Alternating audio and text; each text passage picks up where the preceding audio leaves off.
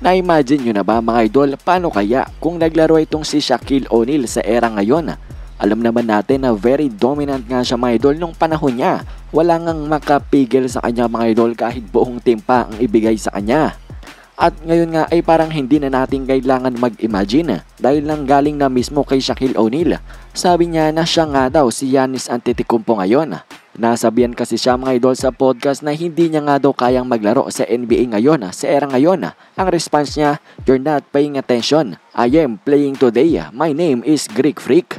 Inihalin tulad ni Shaquille O'Neal ang kanyang sarili sa two-time NBA MVP, one-time NBA champion na si Giannis Antetokounmpo. Well, alam naman natin na very dominant din itong si Giannis Antetokounmpo ngayon sa NBA, parang mala Shaquille O'Neal. Madalas nga siyang nakukumpara sa kanya mga idol nang dahil sa mga statistics na kanyang itinatala na halos similar nga talaga. Pero anyways nga mga idol, puntahan na natin ang ating next balita na patungkol nga kay Devin Booker at Luka Doncic.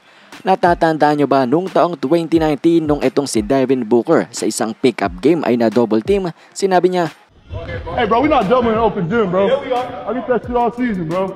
Nainis nga itong si Devin Booker nang i-double team nga siya sa isang pickup game. Samantalang itong si Luka Doncic, kinuwento ng kanyang teammate na si Tio Pinson, We ran two people at him, meaning dinoble team. He's like laughing, running into the corner, step back fade away over two people, cash, and he starts giggling and points at me. Yan nga daw ang naging response ni Luka Doncic mga idol sa double team sa isang pickup game. Ini-step back niya lang, inisgoran at tinawanan. Samantalang si Devin Booker mga idol ay nagreklamo.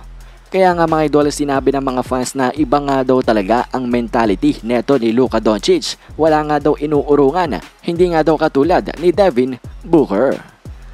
At ngayon na ngay pag-usapan natin ang ating panguling balita na tungkol dito sa Los Angeles Lakers.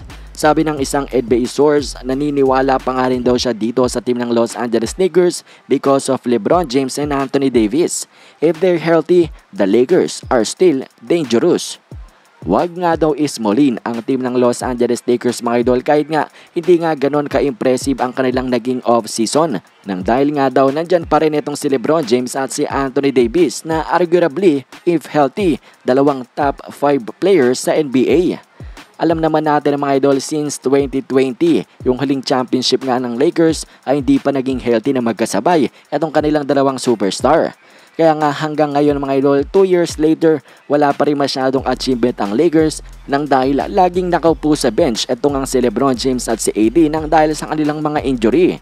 Pero sa tingin ko naman mga idol ay makakapag-agree ang ilan sa mga NBA fans sa take ng isang NBA source na ito na dangerous pa rin talaga ang team ng Los Angeles Lakers kapag nga healthy si Lebron James at si Anthony Davis.